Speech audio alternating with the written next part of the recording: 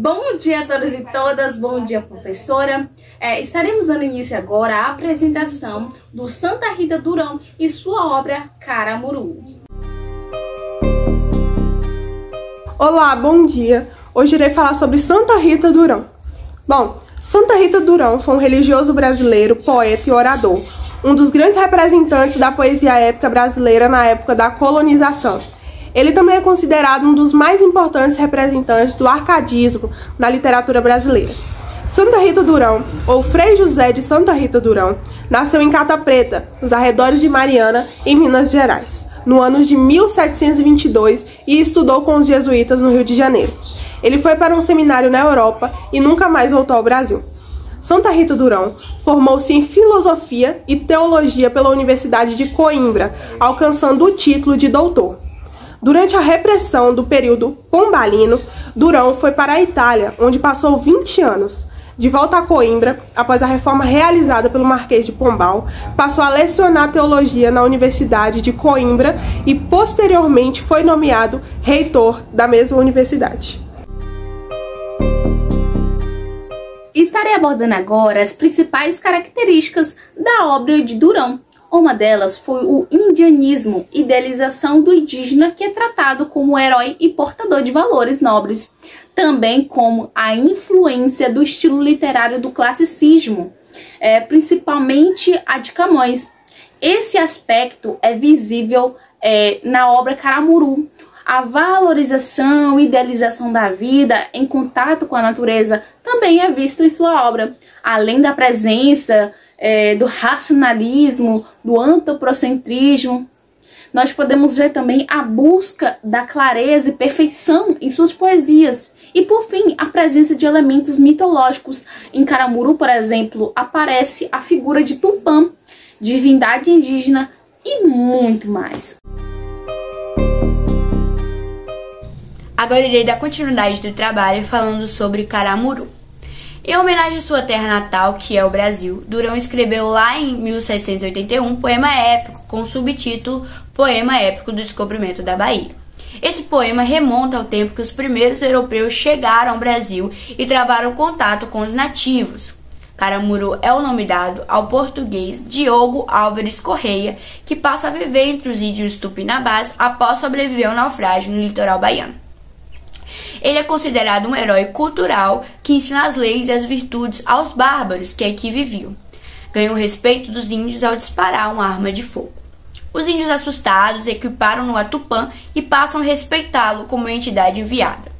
Então ele se encanta com Paraguaçu, a bela índia de pele branca, e já instalado na tribo, Diego percebe a possibilidade de difundir a fé cristã para os índios, doutrinando-os após ter encontrado uma gruta que se assemelha a uma igreja.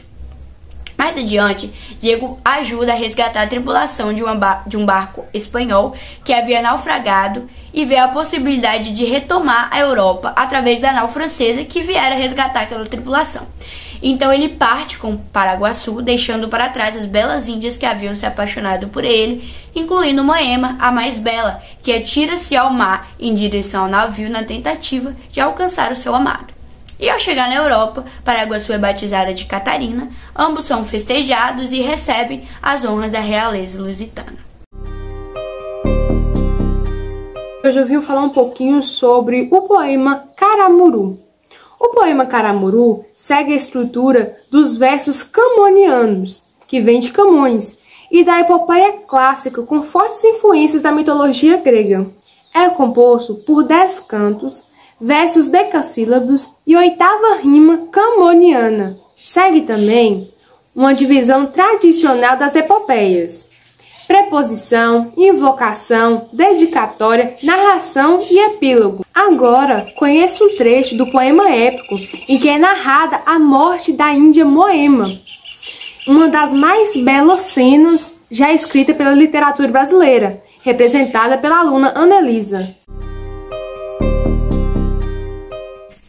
Copiosa multidão da nau francesa corre a ver o espetáculo assombrada, ignorando a ocasião de estranha empresa, pasma da turba feminil que nada. Uma que as mais precede em gentileza, não vinha menos bela do que irada, era Moema, que de inveja geme, e já vizinha nau se apega ao leme. Bárbara, a bela diz, tigre e não homem. Porém o tigre, por cruel que brame, acha forças amor que enfim o domem. Só a ti não domou, por mais que eu te ame. Fúrias, raios, coriscos, que o ar consome, como não consumis aquele infame. Mas apagar tanto amor com tédio e asco, há que o corisco és tu, raio, penhasco? Enfim, tens coração de ver-me aflita, flutuar, moribunda, entre estas ondas, nem o passado amor teu peito incita, a um ai somente com que aos meus respondas. Bárbaro, se esta fé teu peito irrita, disse vendo-o fugir, ah não te escondas, dispara sobre mim teu cruel raio, e indo a dizer mais, cai no desmaio. Perde o lume dos olhos, pasma e treme, pálida a cor, o aspecto moribundo, com mão já sem vigor, soltando o leme, entre as salsas escumas desce ao fundo, mas na onda do mar que irado freme, tornando a aparecer desde o profundo, ah, Diogo cruel, disse com mágoa, e sem mais vista ser sorveu-se na água. Bom, gente, esse foi o nosso trabalho. Espero que tenham gostado e entendido. Obrigada pela atenção.